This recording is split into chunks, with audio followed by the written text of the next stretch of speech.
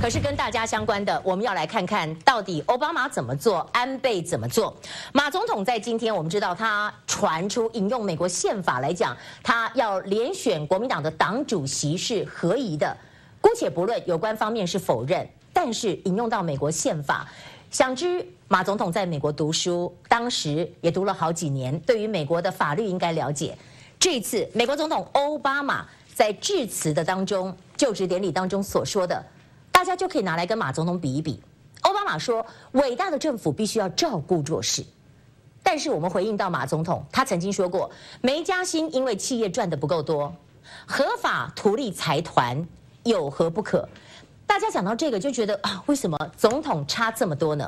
我们要报告马总统，你知道我们现在出现了一个什么样的一个移转效应吗？就是说大陆的陆资来台湾，台湾的人才去大陆。您可以看到这部电影《远离》。非洲的剧情，可是真的有点悲的感觉，像是远离台湾。我们有多少人才远离台湾呢？这个是欧洲商会二零一三年最新的报告。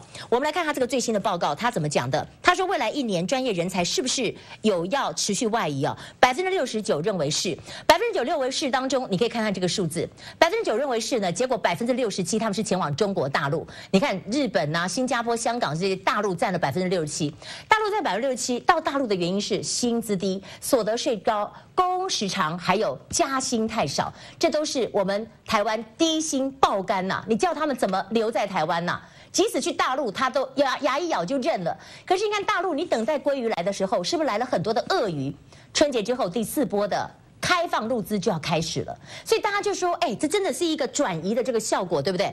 那你可以看到我们现在哈。我们昨天公布了台湾去年的失业率，可是我们今天要看到我们的青年失业率有多大，你知道吗？当中是三年来的第三高啦，应该十年来的第三高，还是比十年前还要高，十二点六六，这是我们青年的失业率。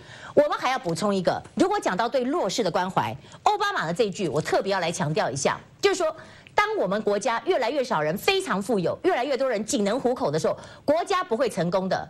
我们相信美国的繁荣必须仰赖广大崛起中的中产阶级的肩膀。马总统引用美国宪法，要不要引用一下奥巴马的说辞来对待我们国内的弱势？可以再少一点，就可以再跟他怎么看？连租个房子都得讨价还价，更别说买房子了。若是竹亭租房子有四千块的补助，以前只要申请就会过，现在得用抽签的。因为申请的人变多了，讲更白一点就是穷人变多了。在名额有限的情况下，政府想到的法子就是跟弱势的人说抱歉。行政助理的他月薪两万八。下班喽，下班兼差去，结果还要被扣二趴的补充保费。他问我们到底招谁惹谁了？有钱人需要兼差吗？收入高的人是要多付点税。像赵忠谋这样有良心的有钱人很多吗？恐怕得靠政府把关。The people understand that our country cannot succeed when a shrinking few do very well and a growing many barely make it. 奥巴马的就职演说让很多财团抓雷弹，富人征税有可能再度加码。We believe that America's prosperity must rest upon the broad shoulders of a rising middle class。照顾弱势，蜜雪很专注的看着台上的老公，眼神都是感动。对我们的很多劳工或薪资阶层，能够让他们的薪资。